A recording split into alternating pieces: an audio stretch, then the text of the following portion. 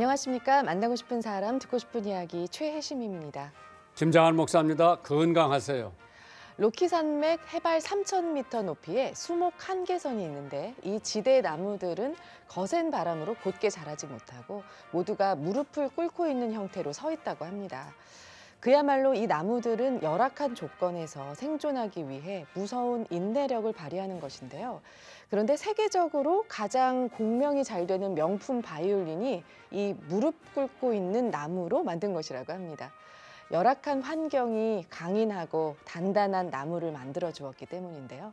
온갖 역경과 아픔을 겪으면 힘들 때도 있지만 반대로 그 시련을 통해서 우리를 더 성장시킬 때가 많은 것 같습니다. 네, 목사님 이렇게 어찌 보면 고난이 또 복이 되는 그런 또 축복이 있는 네, 것 아마 같아요. 네. 최희심 아나운서는 그러한 로키 산맥을 넘어간 경험이 없죠. 어, 그럼요. 네. 나는 두 번 자동차를 가지고 그걸 넘었고 넘어왔고 그러면 나무가 그런 게 많아요. 네. 내가 이제 그걸 보면서 아 깊은 골짜기에 물이 흐르는 데서 나무가 아람돌이 같은 게 자라고 거기 산소가 희박하고 바람이 세게 불고 아 그래서 저런 시련 겪으면서도 굽히지 않고 계속 네. 자라는 자라- 거예요. 그래서 사람들도 어떠한 시련과 격동 여러 가지 있을 때에 힘들지만은 단단하게 자랄 수 있고 우리의 믿음도 어려움 당하고 그러면 더 믿음이 있는 것처럼 모든 게 다 잘 나가고 네. 그러면은 내가 태만해지기가 쉽죠. 네. 그래서 어떠한 역경과 시련과 고난 속에서도 참고 또 참고 인내하면은 결국엔 하나님께서 만들어 주시죠. 아멘. 그래서 우리 네. 청취자들도 아마 참고 기도하고 견뎌내야 돼. 아멘. 만나고 싶은 사람 듣고 싶은 이야기 오늘은 영혼을 울리는 아름다운 목소리를 가진 가수 소양 씨와 함께합니다. 스튜디오에 함께하셨습니다. 어서 오십시오. 반갑습니다. 안녕하세요. 안녕하세요. 네, 저희 방송 가족 청취자분들께 인사 말씀 부탁드립니다. 어, 이렇게 또 오랜만에 극동 방송에 나오게 돼서 너무 기쁘고요. 진짜 오랜만에 와가지고 약간 고향에 온 듯한 느낌의 느낌이 네. 드는데 오늘 이 시간도 하나님이 함께 해주시기를 예, 기도해 봅니다. 어저께 기도 많이 했어요. 그래서 소양하면은 열정적으로 네. 찬양하고 노래하는 분으로 알려졌는데 아니 오늘 나한테 이 책 두 권을 갖고 왔는데 마라나다 네, 주님이 속히 오신다는. 네. 이두 권을 아버님이 쓴 거요. 소양 씨가 쓴 거예요.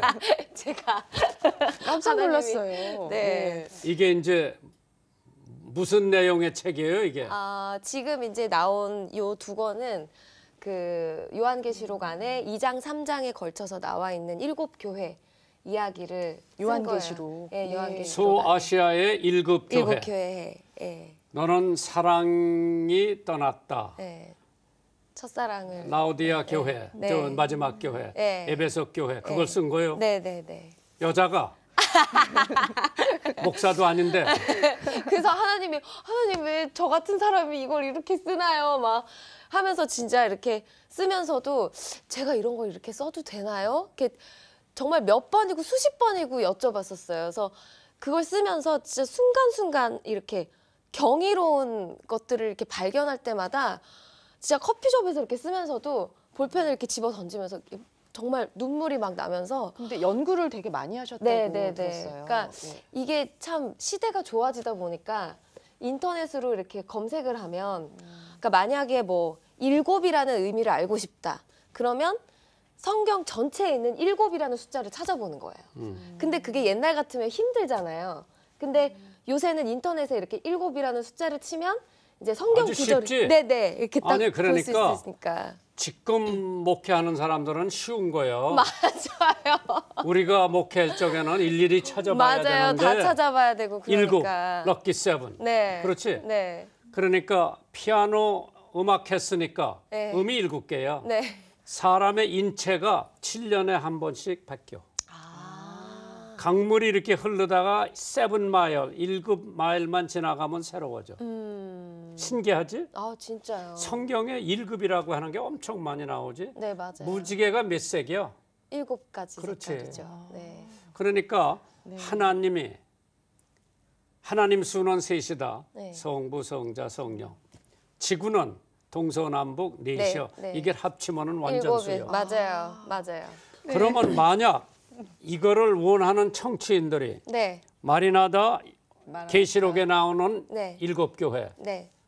어느 출판사에서 나온 거예요? 아 호산나 출판사라고요. 저희랑 이렇게 그 전부터 계속 이렇게 같이 일해오던 출판사. 그러면은 찍으면 나와요 이게? 네네 나와요. 오. 네. 그럼 이 방송 듣는 사람에게 네. 내가 열 권을 사서 네. 선착순위로 연락하면 준다 그랬대. 아 와. 오케이? 감사합니다. 오케이. 극동 방송에서 이렇게 간증하시는 시간은 처음이시죠? 맞아요. 처음인 네, 것 같아요. 거의 이제 네. 음악회나 콘서트에 무대에서 항상 네, 뵀었는데 가수는 언제부터 된 거예요? 저는 스무 살 때부터 아마 활동을 했던 것 같아요. 그래서 한20몇 년? 네. 아니 자기가 노래에 소질이 있다고 생각한 게 몇 살 때부터며? 그러니까 어렸을 때부터 그냥 주위에서 노래를 잘 한다고는 얘기는 했는데 사실 고3 때까지도 저는 가수를 한다는 생각은 안 했었어요. 그러니까 가수는 그냥 내 직업이 아니다. 그냥 취미로 음악을 좋아하고 듣고 막 이러는 건 좋지만 뭐 프로페셔널하게 내가 뭐 이렇게 가수라는 직업을 선택해서 한다는 생각은 진짜 고등학교 졸업할 때까지 안 했었어요. 아, 근데 그러다가 제가 정말 고3 때 정말 그때 성령 님을 깊이 체험하고 그러면서 하나님을 찬양하는 그 자체가 너무 좋고 너무 감사하고 하면서 이제 찬양부터 시작을 네. 하게 되면서 이제 앞으로 가수의 길을 이제 그때부터 제가 걸었던 것 같아요. 네. 근데 지금 뭐 소양 씨뿐만 아니라 네, 뭐 클래식 하는 분들도 그렇고 비대면 코로나 때문에 네, 네. 굉장히 네. 공연도 줄었고 맞아요, 맞아요, 제일 힘든 사람들 그룹 중에 하나 같은데 맞아요. 그래도 우리 극동 방송 듣는 사람이 많이 늘었어요. 아, 네. 그래 소양 씨 노래 좀 많이 내보내. 워낙 주님 다시 감사합니다. 오실 때까지 이 찬양은 네. 정말 많은 분들이 네. 또 애창하고 신청곡이지? 좋아하는, 네 그런 곡이기도 음. 합니다. 미국에 머라이어 캐리가 있다면 한국에는 소양이 있다라고 할 정도로 아이고, 이제, 네. 이제 글로벌한 가수로 자리매김을 하셨는데요. 이런 수식어를 들을 때마다 어떠세요? 아유 그냥 창피해요. 제가 제가 그냥 저는 그냥 하나님이 저를 저한테 이런 탤런트를 주시고 하신 것 뿐인데 이렇게 어떻게 어떻게 하다 보니까 여기까지 오게 되고 그걸 통해서 이제 어, 무엇보다도 제가 너무 기쁜 건 그냥 어떤 제 실력이 이렇게 두각되고 뭔가 보여지고 이것보다도 저를 통해서 하나님을 믿는 분들이 많이 생겼다라는 거. 아, 예, 그래서 이게 그냥 단지 한국에만 국한된 게 아니라 유튜브라는 어떤 네. 채널을 통해서 이제 많은 외국에 계시는 분들도 그러니까 제가 한국말로 간증을 하고 하는 것들이 있음에도 불구하고 그분들이 어떻게 알았는지 제가 어떻게 살고 뭐 자궁 암에 있었는데 거기서 뭐 회복을 하고 뭐 이런 스토리를 다 알고 계시더라고요. 네. 그러면서 아, 이, 이 사람이 찬양하는 건 노래를 하는 건 제가 가요를 부를지라도 노래를 하는 건 뭔가 하나님이 이 사람에게 역사해 주셔서 이렇게 노래를 하게 되는 거라는 스토리를 알고 계시면서 거, 그 과정에서 하나님을 믿게 되시는 분들이 네. 굉장히 많이 네, 네. 하, 하, 이렇게 생기는 거를 제가 보게 돼요. 그래서 그게 너무 감사하고 네. 이렇게 그냥 이 목소리를 사용해 주시는구나. 네. 이 소양 소양 씨. 그 이름이 네. 예명이죠? 아니요, 제 이름이에요. 김소향이에요. 아, 네, 그래서 김자를 빼고 소양 으로 네. 어디 김씨요? 광산 김씨. 광산. 뭐 경주에서 갈려 나갔으니까. 어, 나는 경주 김씨요. 아, 그러시구나. 네, 우리 오케이. 소양 씨. 김소양. 네. 네. 소양 씨 아까 잠깐 이렇게 네. 언급을 해주셨는데 사실 젊을 때좀 네. 어려움이 있었잖아요. 네, 네. 물론 많은 분들이 또 지금 알고 있는 간증이기도 한데 그래도 또 네. 이제 저희 프로그램 나오셨으니까 네. 그때 이야기 잠깐 들려주시면 저희 방송 가족 여러분들도 네. 같이 기도하고 아이고 응원할 참것 같아요. 그게 예. 진짜 오래전 일이죠. 오래전 일이기도 하고 또 음. 굉장히 스토리가 긴 그건데 어 그러니까 그 당시에 이제 뭐 어, 남편이랑 교제를 하다가 하나님이 그 기도하는 가운데 아주 강력하게 네. 어, 결혼하라는 음. 말씀을 주셔가지고 그래서 진짜 서둘러서 서둘러서 진짜 결혼을 하게 됐는데 그때 정말 어, 왜 이렇게 하나님이 서두르실까 정말 진짜 아, 건 한 달을 남겨놓고 그렇게 네. 하나님이 결혼을 그냥 이렇게 밀고 나가셨어요.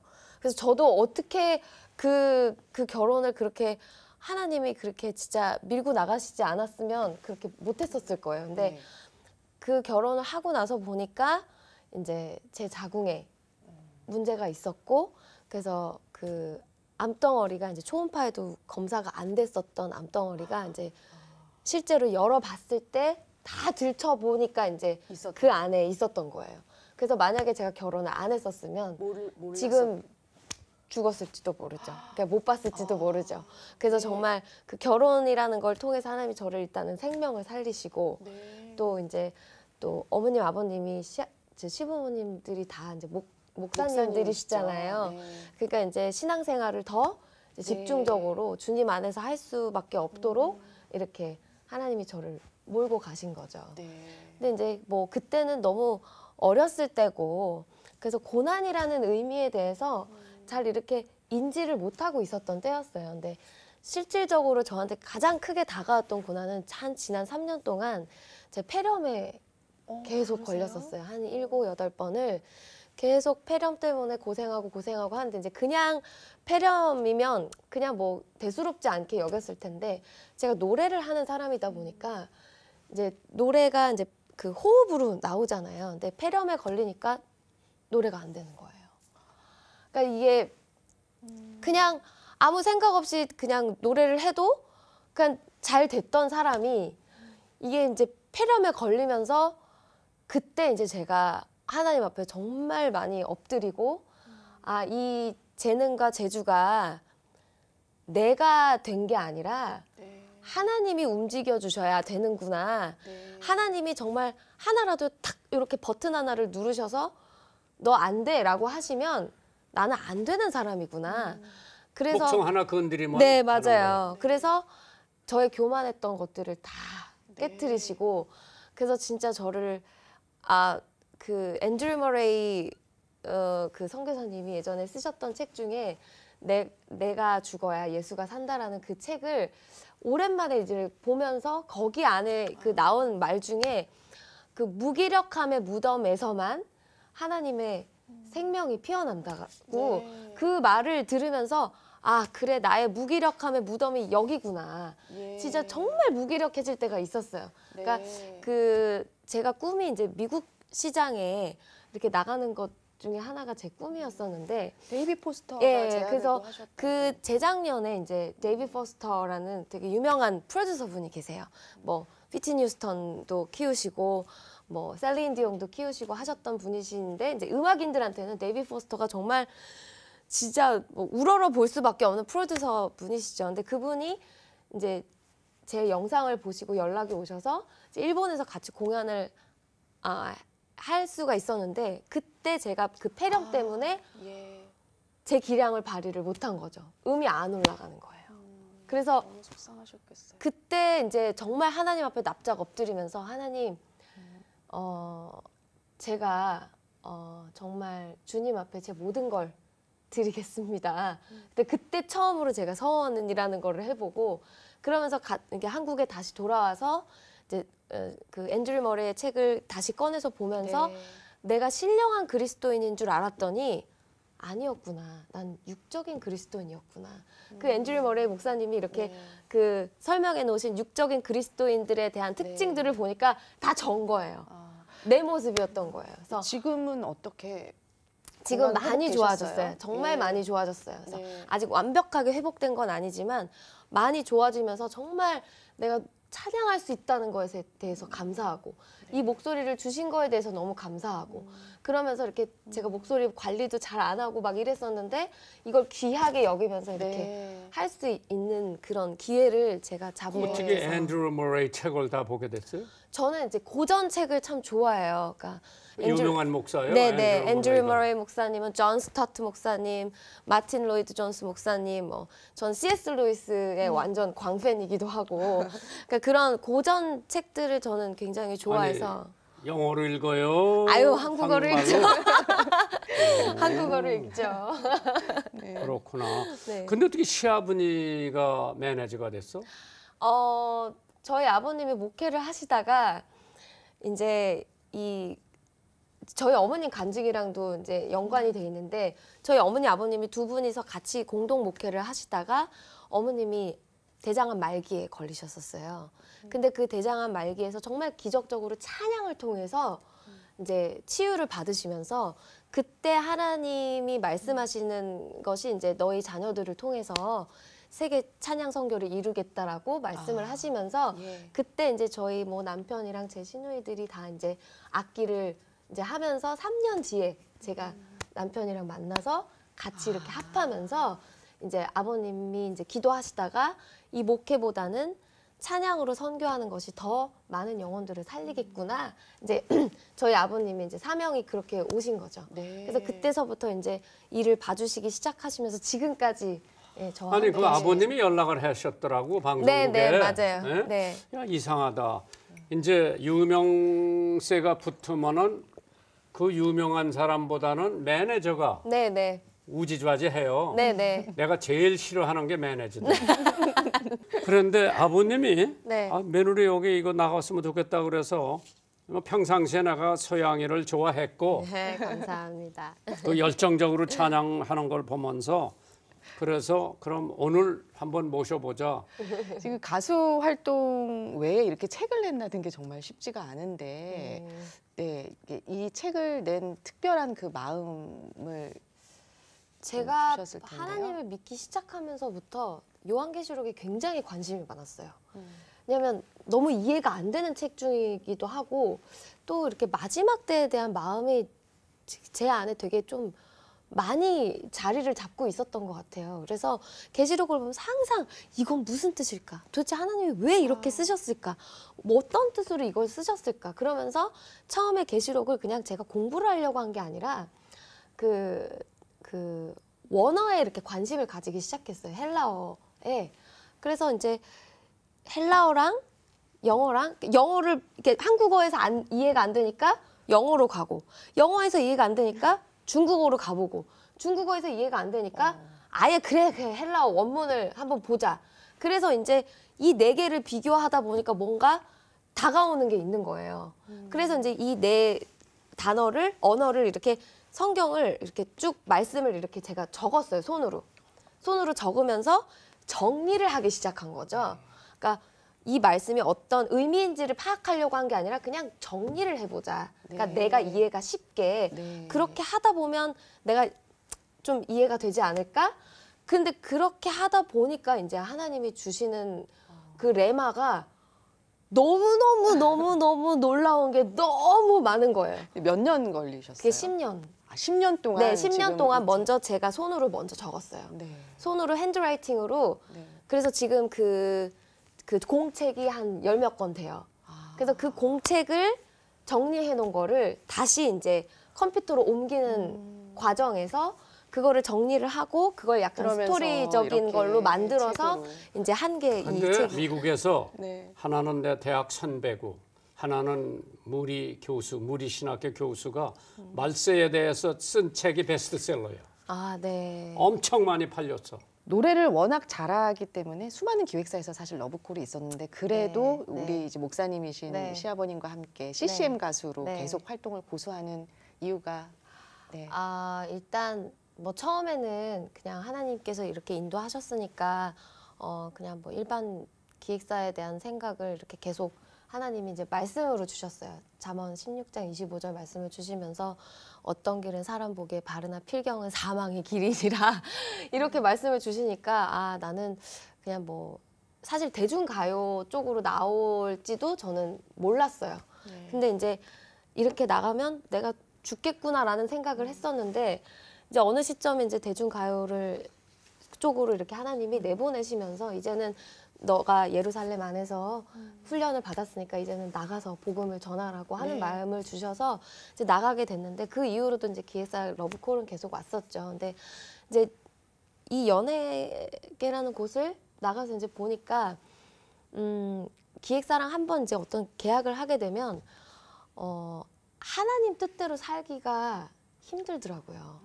그러니까 하나님이 원하시는 대로 하나님이 가라고 하는 그 길은 사실 때로는 세상에 계신 분들이 이해를 못하는 경우가 많은 경우가 있거든요. 그러니까 지금까지 저희 그 여정들이 이렇게 네. 이해가 돼서 가는 길들이 아니었었어요. 그래서 네. 그냥 이해가 안 돼도 하나님 하라 하니까 네. 했는데 이렇게 되는 경우들을 저희가 너무 너무 많이 봐서 그래서 이제 저희 포스 밴드 중에 이제 막내 그 기타 치는 네. 친구가 이제 외국 그 그 밴드에 가서 굉장히 잘 됐어요. 근데 그 친구가 또 외국에서 그렇게 기획사랑 계약을 하고 하는 모습을 보면서 어, 혹시 나도 그렇게 계약을 해야 되나 라는 생각을 했는데 그 친구를 통해서 오히려 제 마음에 하면 안 되겠다라는 마음을 더 먹은 거죠. 네. 왜냐하면 자기 뜻대로 할 수 있는 게 아무것도 없더라고요. 네.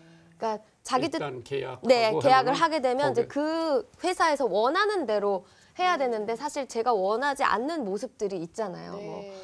그러니까 그 세상에서 원하는 그런 모습들이 하나님이 보시기에 저랑 안 맞는 부분들이 너무 많아서 아 이렇게 되면 하나님이 원하시는 대로 살 수가 없겠구나. 그래서 사실 그 데이비 포스터 그 일이 있고 나서 제 꿈이 사실 미국 기획사랑 계약을 하는 거였는데 소니 뮤직에서 사실 연락이 왔었어요. 예. 연락이 왔었는데 정말 제가 너무나 자유롭게 아 죄송하다고 어, 저는 지금까지 저와 함께 해주셨던 하나님이 앞으로도 저와 함께 해주셔서 그분의 어, 그 보이시는 그 기적 같은 길을 저는 체험하고 싶다고 그래서 그렇게 이렇게 리젝트를 하고 나니까 정말 너무 자유로운 거예요. 아 내가 여기 얽매여 있었구나. 네. 그러니까 세상의 명예, 부귀 뭐 이런 거를 음, 집착하지 않는다라고 생각을 했었는데 네. 어느새 나도 모르게 그런 명예에 이렇게 끌려다녀. 네, 끌려 다녔고 있었구나. 근데 그거에 대해서 하나님이 그 폐렴이라는 걸 통해서 이렇게 자유케 하시고 네. 저를 이렇게 어, 해방시켜 주셨어요. 네. 그게 너무 감사해요. 근데 자기가 네. 이제 연예인들을 많이 만나고 섞이고 하는데 네. 이제 뭐 전도도 하겠지. 네, 네, 맞아요. 우리 방송국에 전도지 좋은 게 많이 있으니까 그냥 무료로 네. 줄 테니까 네. 네. 한번 자기하고 제일 친한 사람 네.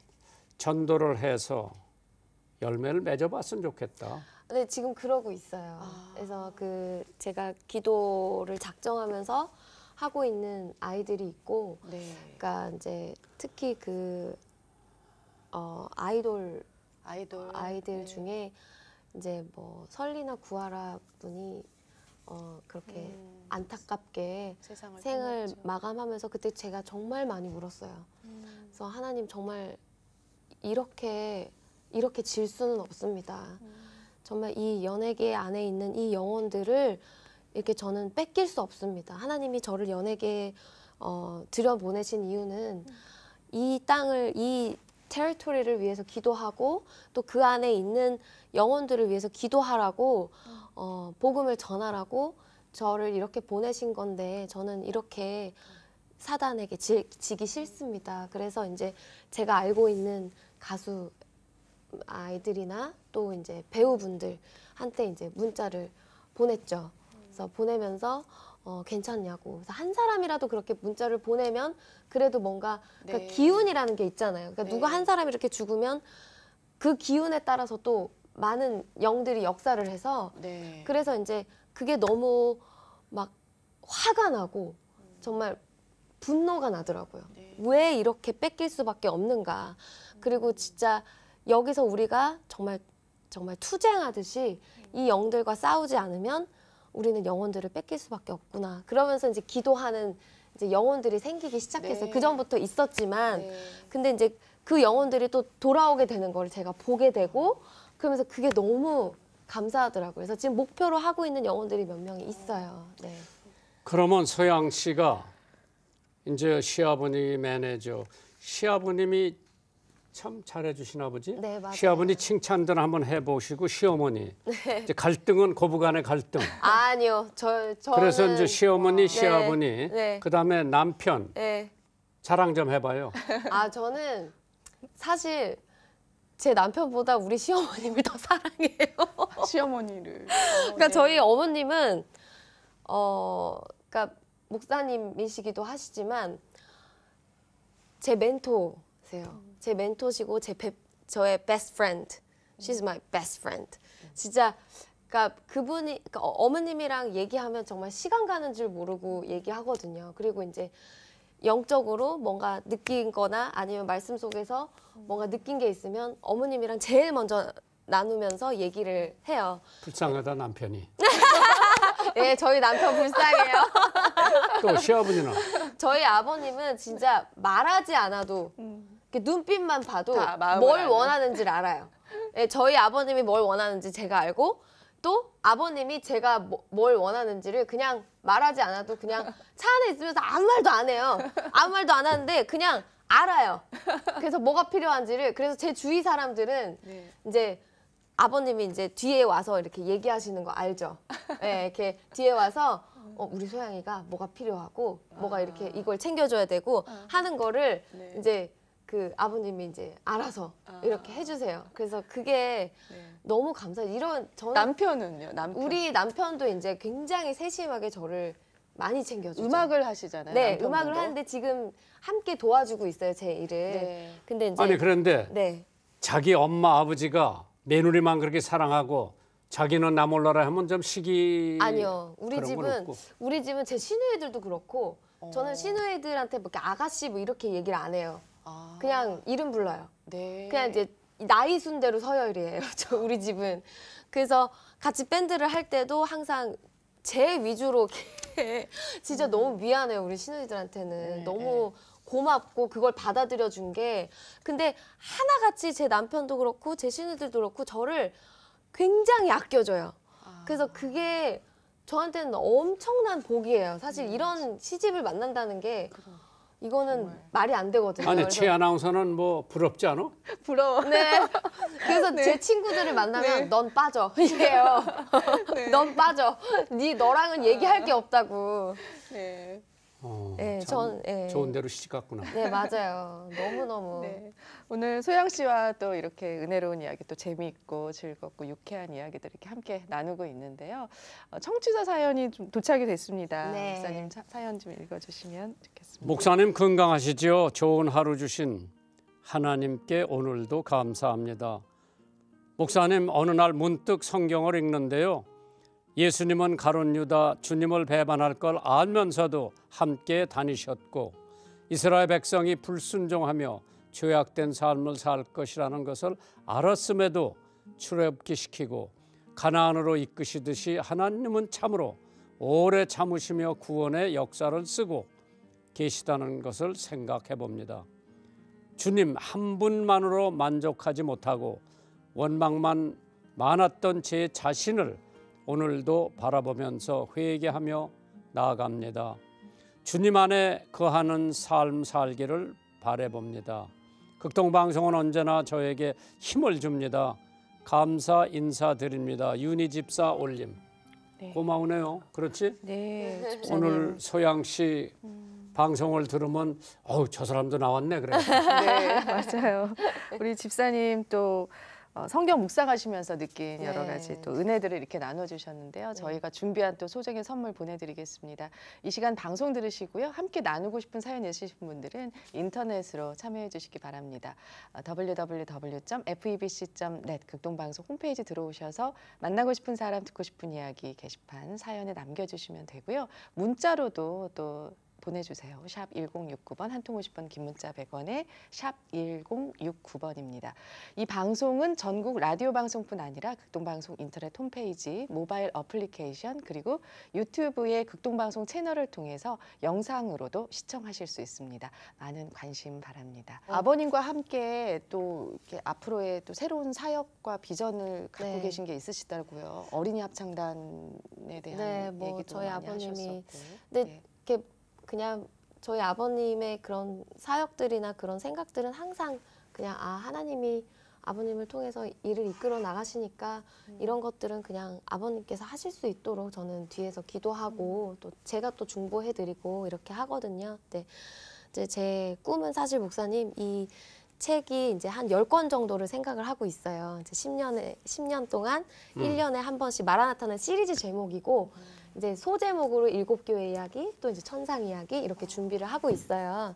근데 이제 이거를 제가 나중에 소설로 만들어서 네. 그거를 영화하고 드라마를 통해서 그러니까 많은 사람들에게 마지막 때에 대해서 알리는 것이 저의 어, 꿈이고 네. 또 비전이에요. 그래서 그때까지 이제 저희 어머님 아버님이 음. 함께 해주셔서 그 꿈을 함께 이뤄나가는 것을 보는 게 어, 저의 소망 중에 하나고. 왜냐하면 참 영적인 싸움이라는 게 쉽지 않잖아요. 혼자 할 수 있는 일이 아니라는 걸 정말 시간이 가면 갈수록 제가 깨달아서 그러니까 함께 비전을 갖고 꿈을 꿀 수 있는 분들이 함께 기도하면서 영적인 분별력을 가지면서 나가는 것이 진짜 중요하다라는 걸 네. 어, 정말 새삼 많이 느껴요. 네. 정말 이걸 보고 계시는 어, 시청자 여러분 진짜 극동 방송이 어떤 일을 하고 계시는지 여러분들 아시죠? 많은 선교사님들을 위한 어, 여러분들의 어, 마음과 기도와 또 그런 후원이 진짜 얼마나 큰 일들을 하고 있는지 또 한 생명을 살리시는지 알고 있으니까 어, 저도 동참하고 또 여러분들도 함께 동참하시면서 이 일들을 함께 해나가셨으면 좋겠네요. 그리고 코로나가 빨리빨리 없어졌으면 좋겠고요. 그 가운데서 여러분들이 소망을 가지시면서 건강하셨으면 좋겠습니다. 행복하세요. 네. 네. 감사합니다. 네. 오늘 소양 씨와 함께한 시간이었습니다. 네, 안녕히 가십시오. 감사합니다. 감사합니다. 감사합니다. 감사해요. 한 주간도 주님 안에서 평안하시길 바랍니다. 만나고 싶은 사람, 듣고 싶은 이야기. 저희는 다음 주 이 시간에 다시 찾아뵙겠습니다. 감사합니다.